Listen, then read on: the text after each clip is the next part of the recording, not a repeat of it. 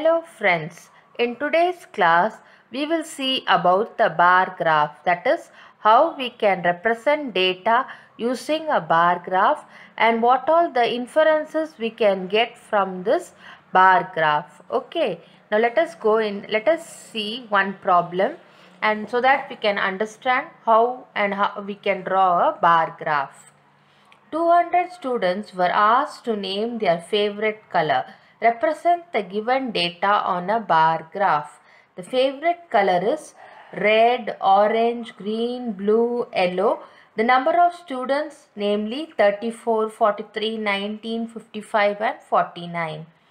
Answer the following questions. Which is the most preferred color and which is the least preferred? How many colors are there in all? What are they? Okay, now let us draw the bar graph for this.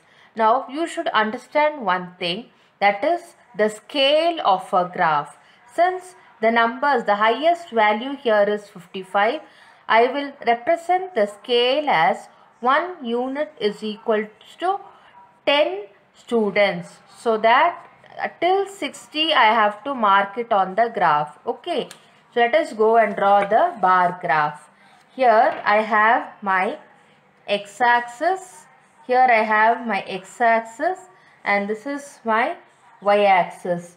And I will represent the students, the number of students in my y-axis and the colors on my x-axis. I hope you get it.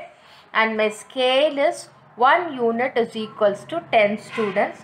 I have made subdivisions from 10 till 60. Okay, so I hope you understand it. First color is red.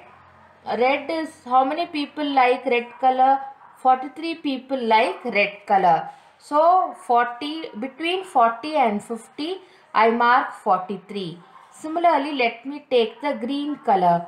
How many people like green color? 19 of them like green color. So, I mark here below 20, little below 20, I mark my 19. Now, I go and draw the next one that is the blue color. How many students like blue color?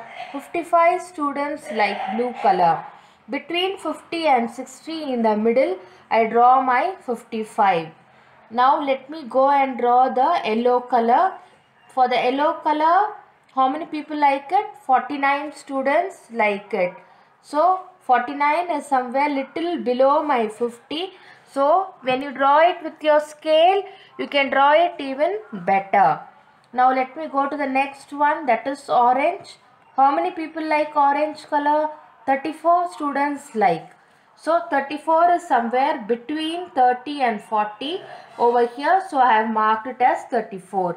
So you have the x-axis, the y-axis. Along the y-axis I have plotted the students and the x-axis gives me the color. So from this graph, what is the inference you get? The color which is liked by most is the blue color and the color which is liked the least is the green color and how many colors are there? There are red, green, blue, yellow, orange, five colors. So this is the inference we get from this uh, bar graph. Now we'll go and see another graph that is the let us let us now plot this uh, this data on a bar graph. This is a double bar graph. Okay. A mathematics teacher takes the score of 5 weakest children in the quarterly test and half-yearly test. Both the tests are out of 25. So these are the marks and these are the name of the students. Now let me plot these values on a graph, on a bar graph. Okay. For that, my maximum value is 21. So I can have the marks as on my y-axis and I can have it as a unit of 1 unit is equals to 5 marks. Okay, so what will be my scale? Scale is very important students. So please don't forget to write the scale. 1 unit is equals to 5 marks and I mark the marks on my y-axis and the name of the students on the x-axis. Okay. So what is it? First Ashish. Ashish, how much does he score in the quarterly exam? He scores 10 marks. So I have marked it along 10. And in halfly he scores 15. So I have marked 15. Now to show the difference between quarterly and halfly, I have shaded my halfly. Okay, similarly here you can write this box as quarterly and this as halfly.